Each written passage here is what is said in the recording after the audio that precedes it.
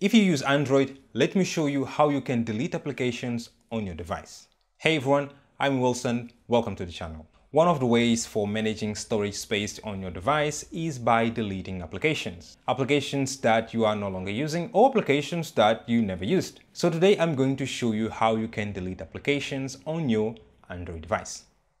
Without further ado, let's dive into it. On my device on screen here, you can see that I have few applications and we are going to uninstall some of them. Let's start with this one, Yango. So to uninstall an application, what you have to do is just tap and hold your finger there on the app and you'll get this pop-up menu. You will get a lot of options, but for the purpose of this tutorial, let's focus on remove and uninstall. Now let's click on remove. If you tap on remove, the application will be removed from your home screen. It will not be uninstalled from your device, just removed from your home screen. Now let's say I want to uninstall this application. Using your finger, swipe from the top up to access the app drawer. Now right here, let's look for Yango. My apps here are organized in alphabetical order, so I know Yango will be on the last page. So swipe. So you have Yango. Now right here, what I'm going to do is tap and hold on the icon I'll get this pop-up menu and you can see here that I have at the bottom the option to add to the home screen and the option to uninstall it. So since I want to uninstall this application, what I'm going to do is tap on uninstall. You'll get this pop-up notification right here at the bottom asking if you really want to uninstall this application. Because this is what I want, I'm going to tap on OK. You'll get this notification at the bottom saying that application was uninstalled. So this way you uninstall an application from your device. And right here at the app drawer, you will see that application was removed. For example, at the top of your app drawer, you have the option to search. If you tap there and search for Yango, which is the application that we just removed, you will see that nothing appears. So that means that we have completely removed the application from the device. The other way for doing that is by going through the settings. So my system settings apps is on the second page and you can see right here, I'm gonna tap there, it will open the settings. If you don't have your settings on any page, what you can do is swipe from the bottom up to access the app drawer and look for the settings.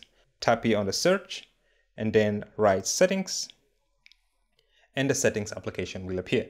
Tap there to open it. So right here, what we're going to do is scroll down until we find apps.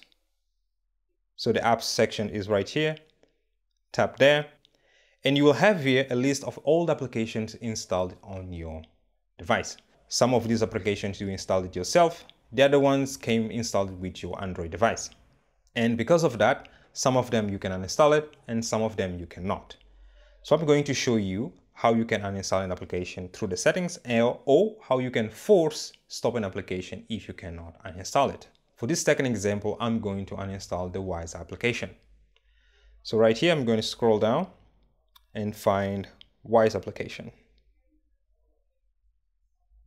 So the Wise application is right here. I'm going to tap there. Right here, you have all the system settings related to the Wise application. And right at the bottom, you can see that I have the option to open the app uninstall the app or force stop the app. So what I'm going to do here is uninstall this application. To do that, I'm going to tap here where I have uninstalled it. You will get this pop-up notification asking if you really want to uninstall this application. Because this is what I want, I'm going to tap OK. It shows you that the system is uninstalling. And once it finishes, because the application is no longer here, it will take you back to the list of apps on your system. If you scroll down, you will see that we no longer have here the Wise app. Or right here at the top on the right side, you can tap on the search option and type Wise. You will see no results found.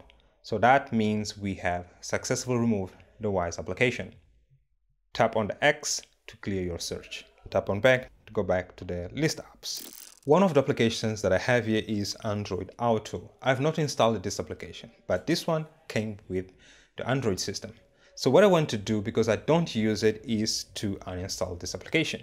So tap there. Right here, you can see the system options related to this app. If we look right here at the bottom, we don't have the option to uninstall it, but we do have the option to disable or to force stop it. Now, there is a difference between disable an application and force stop it. If you disable an application, the app turns off until you turn it on back again. If you force stop an application, the application closes and all its background process. If you force stop an application, to turn it on, you just have to go to the app and tap on it and it will open. Now, if you disable the application, you have to go to the settings app and turn that option on so that you can enable it. Because I don't use this app and I know that this application will not break any system function, I want to disable it. So I'm gonna tap here. You'll get this pop-up notification saying that disabling this app may cause other apps to stop working correctly. Because I know I don't use any app linked to this one, what I'm going to do is disable the app the app is disabled now. You can see right here at the top where you have Android Auto, right below you have disable it.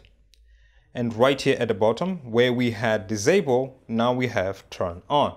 So if you did that by mistake and you see that your phone is not working properly, you can tap there to turn that app on again. On the right side, the other option you have is to force stop the application. You can tap there you'll get this pop-up notification right here at the bottom. Because I know I don't use it, I'm gonna tap OK and it will force disable the application. Once again, you did not uninstall the application. In this case, if you disable or force stop it by mistake, you can turn it on again. And to do that is very simple. You just go to your phone and then tap on turn it on.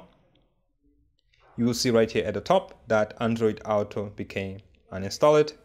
And at the bottom, instead of turn on, you have disable.